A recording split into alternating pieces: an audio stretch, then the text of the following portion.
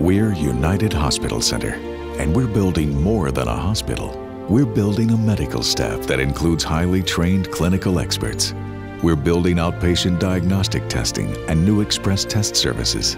We're building technology and treatment programs that include two 64 slice CT scanners, a quieter MRI with a larger, more comfortable opening, and operating rooms equipped to perform both diagnostic and surgical procedures, which means shorter stays and faster recovery.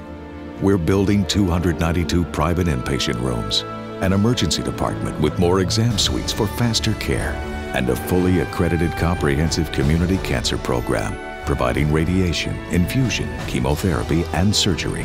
We're United Hospital Center, and we're building better healthcare for North Central West Virginia.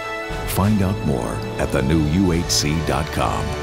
The future of healthcare is here.